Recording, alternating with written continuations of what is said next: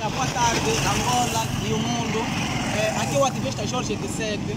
É só para poder informar que nós estamos num local onde o governo, o governo provincial do Uige, é, e isso só para dizer que isso está em, toda, em, em todas as ruas da cidade onde tem buracos. O governo do Uige, só porque a- o, o, o senhor Luther Rescova chega amanhã da- de, de Luanda, é só para vocês verem o trabalho paliativo que o governo está fazendo. Isso em todas, em todas as ruas da cidade do Uige. É, isso é só para vocês verem que isso amanhã vai ser justificado milhões nos cofres do Estado. Nós estamos mesmo cansados, o povo Luís mesmo está cansado, porque o, povo Luís é, nota-se que o povo está a ser refém de uma quadrilha altamente criminosa. Esses, esses camaradas que estão aqui a governar o país são mesmo criminosos. Isso não é pura brincadeira, não é mentira, não. Todo indivíduo, esse, essa quadrilha criminosa que governa os angolanos em, todas a- a- a- em todo o país Epa, a realidade é quase a mesma, nós estamos fartos, imagina só. né? Quer dizer, aqui tem cimento, tem areia, tem, tem brita, mas depois vai se justificar milhões nos cofres do Estado. Como isso é possível? né? Como é possível em quase em todas as ruas da cidade do Ija? Estão assim. Imagine só.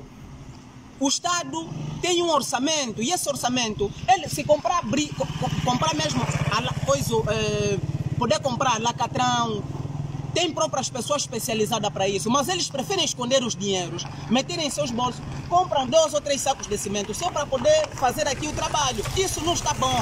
Nós estamos cansados com esse tipo de trabalho. Quase em todas as ruas da cidade é o mesmo cenário. Isso porque só porque o Luther Rescova chega amanhã.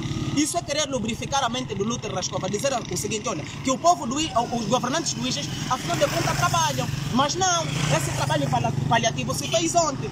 Tudo porque o indivíduo chega amanhã. Isso não está nada bom. Nós precisamos nos libertar desse cativeiro em que o povo, em que o, MPLA meteu o povo. Nós estamos fartos desse tipo de governação, uma governação danosa. Nós sentimos nossos direitos, estão a ser violados. Quanto tempo isso vai fazer? Isso só, tá- só fica aqui mais ou menos um mês, três semanas a duas semanas. Como isso é possível?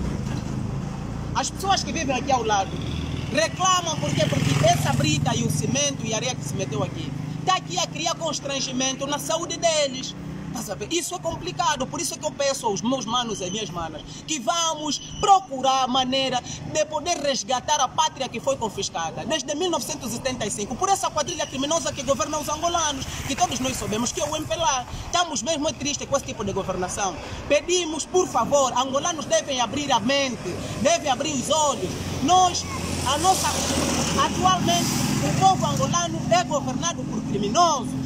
MPLA é uma quadrilha altamente criminosa e nós, como povo, temos que lutar, porque se nós não lutarmos por nós, ninguém fará por nós. Nós precisamos é lutar, é lutar mesmo. Se for possível, vamos pegar em katanas. Estamos a ser, quer dizer, escravizados, estamos a ser humilhados, pisoteados.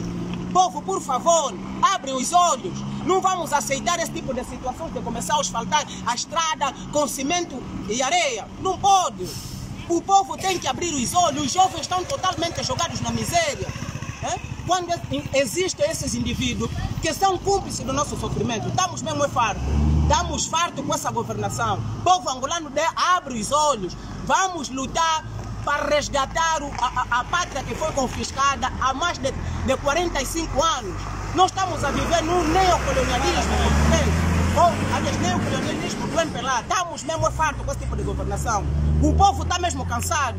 E eu peço a todo o povo, vamos nos unir para derrubar essa quadrilha criminosa. Ok, muito obrigado. Porra, meu.